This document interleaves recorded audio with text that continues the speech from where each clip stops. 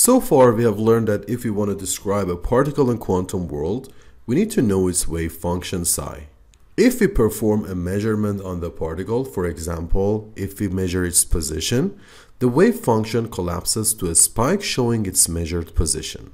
The wave function gives us all information we need to talk about the particle. If we plot psi squared against the position, the area under the graph should yield 1 because the particle should be somewhere in the space. Suppose that we have an ensemble of particles, each one in the same state psi.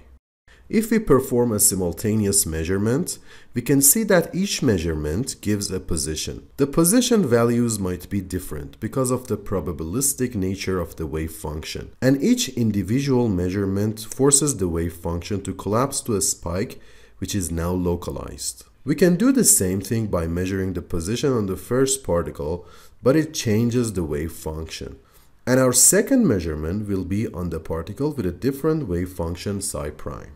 However, if we return the particle to its original state psi, and then perform a measurement, it yields x2, which is still a measurement performed on psi. By repeating this process, we can again have position values obtained from state psi. The average of these measurements on the position of the particle is given by this equation. If we have enough measurements, the average gives the expectation value for the position, meaning that we expect the particle to be at this position.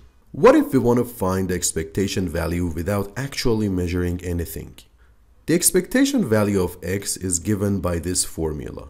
It is the average of repeated measurements on an ensemble of identically prepared systems. Psi is dependent on time and we might want to know how the expectation value of x will change as time goes on. Let's take the derivative of the expectation value with respect to time. Like the previous video in this series, we can use the Schrodinger equation to find this formula. We can simplify this integral using integration by parts. Suppose that f is x and g is this expression. Now by using integration by parts, we can easily simplify this integral.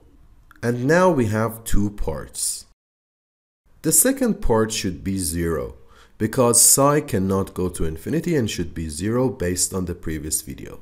Another integration by parts on the second part of this integral gives an even simpler equation. Note that the second term here should go to 0 too. And finally, for the time evolution of the expectation value of x, we can write this expression. Pay attention that this is not the velocity of the particle, but we can say that the expectation value of the velocity is equal to the time derivative of the expectation value of position. In quantum mechanics, it is more usual to work with momentum than velocity. The expectation value of the momentum is given by this expression. The expectation values of x and p can be written like this.